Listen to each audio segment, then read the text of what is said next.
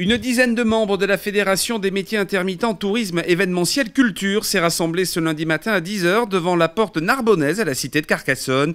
Une action nationale menée simultanément dans 12 sites de France liés au tourisme.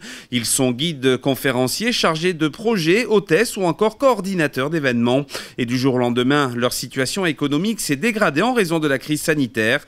Aujourd'hui, ils lancent un cri d'alarme pour alerter les pouvoirs publics et sensibiliser le plus grand nombre à cette conjoncture très préoccupante qui les touche? Alors ce qu'on demande nous d'abord c'est la réforme euh, du pôle emploi.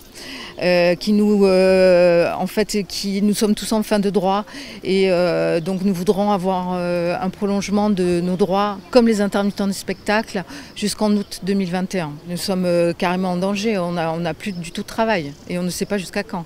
Donc sans, sans, sans revenus du coup, à part avec un petit peu de pôle emploi si on a encore des droits, mais ça ne durera pas éternellement parce que nous ne pouvons pas recharger nos heures à l'heure qu'il est, puisque nous ne travaillons plus.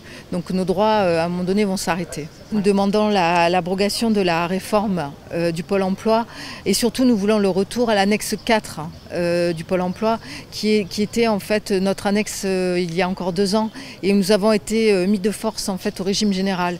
Et nos métiers ne correspondent pas du tout au régime général puisque nous ne sommes pas aux 35 heures. Nous avons des CDD et nous travaillons au minimum 10 à 15 heures par jour et le, statut en fait euh, du régime général ne nous convient pas du tout. Nous aimerions un retour, à l'annexe 4 pour les accompagnateurs de tourisme d'affaires et pour les guides également. À noter ce matin aux côtés des intermittents du tourisme et de la culture la présence du conseiller départemental Jean-Noël Yos, colistier de Tamara Rivel, ainsi que du maire de Carcassonne, Gérard Lara, candidat à sa réélection.